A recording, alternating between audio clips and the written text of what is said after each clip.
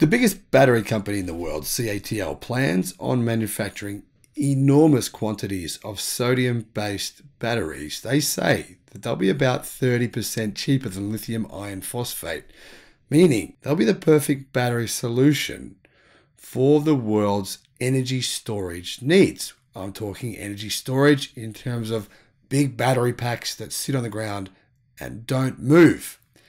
However, researchers from Victoria, Australia, from the university that I went to, have found a way to commercialize solid state sodium batteries.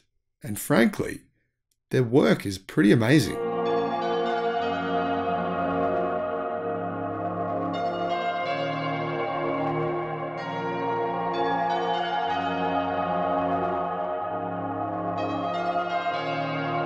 Hello, my friends, and welcome to the channel on the Electric Viking.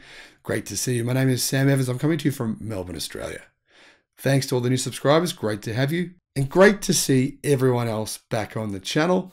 Hope you've had an amazing week. Now, I'll put a link in the description below to the video I made about sodium batteries and how they will play an enormous part in the world's solution to our energy crisis, to our energy needs. CATL clearly agree with me. They're putting billions of dollars of research into developing their sodium batteries, which they say will become commercially available next year. However, a team of researchers from Deakin University Institute for Frontier Materials have used computer modeling and simulations to progress the design of a new type of sodium state polymer electrolyte showing its potential use in various types of polymer based solid state batteries, particularly sodium and potassium batteries. Now, why is sodium such an important solution to our battery technology in the future? Well, lithium has become very, very expensive. In fact, lithium spot prices have increased by 900% since January of 2020. Now, if you compare the increases in price since January 2020 of cobalt, nickel, manganese, iron phosphate, graphene, graphite, and sodium, well, they're all minuscule in comparison to the stratospheric increase in price of lithium. Fortunately, in these new batteries, these new solid state batteries, sodium can replace the lithium, meaning they are definitely a solution to our dependence on the incredible increase in price of lithium. Rechargeable batteries paired with sodium metal anodes are considered to be one of the most promising high energy and low cost energy storage system. The emphasis here is on low cost. I mean, CATL themselves say these batteries will be 30% cheaper than lithium iron phosphate, which are the current cheapest batteries in the world. However, the use of highly reactive sodium metal and the formation of sodium dendrites during battery operation have caused big safety concerns, especially when highly flammable liquid electrolytes are used. Now, one of the big problems with these sodium batteries is that the dendrites get bigger quickly. Basically, the batteries don't last as long.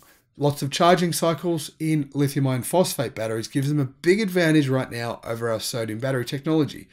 However, CATL and this team of Deakin researchers say that they've solved this problem. New research published in the Journal of Nature Materials suggests that by using polymer as the ion conductor rather than the flammable liquid, solvents currently used in lithium ion batteries means the energy storage is greener, safer, and much less expensive. Lead researcher Dr. Fang Fang Chen said the team used a computer to lab material design strategy applying modeling and simulations to find the best compositions for polymer electrolytes.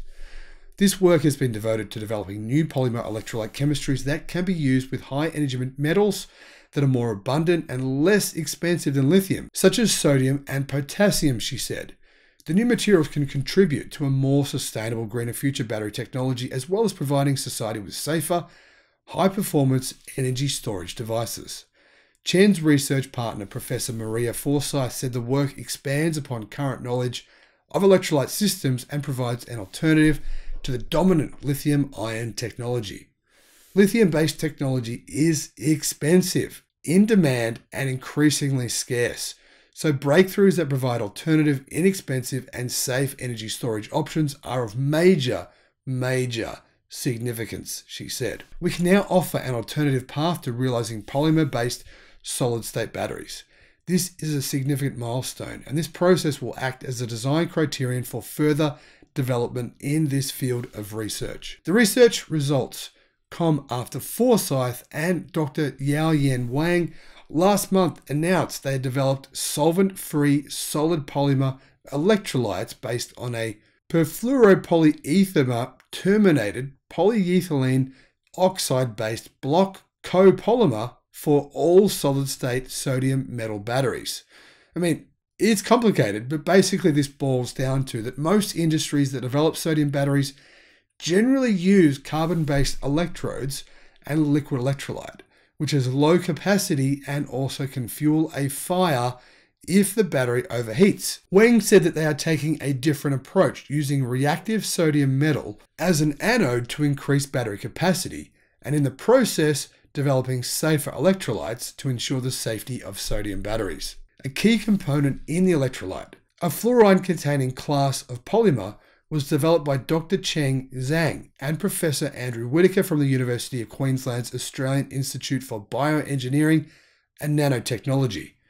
Originally used for biological applications, this is the first time the polymer has been used in solid state sodium batteries, and it appears to be the answer they were looking for. Wang said one drawback of current sodium batteries is that they do not last as long as lithium batteries, which I outlined before, and have a lower energy density. However, in pairing them with the new polymer electrolytes, the researchers believe that sodium batteries could offer close to 1,000 cycles, comparable to current ternary lithium ion batteries, but still a fair bit less than lithium iron phosphate batteries.